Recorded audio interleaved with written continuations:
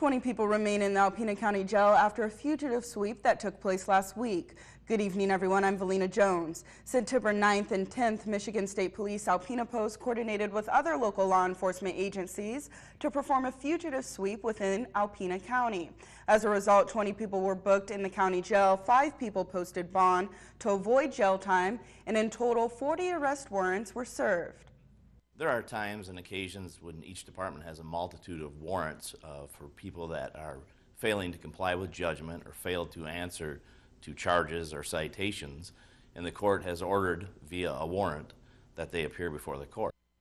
Along with the MSP Alpena Post, the Alpena County Sheriff's Department, Alpena City Police, and the Michigan State Police 7th District Fugitive Team all joined together to enforce the sweep.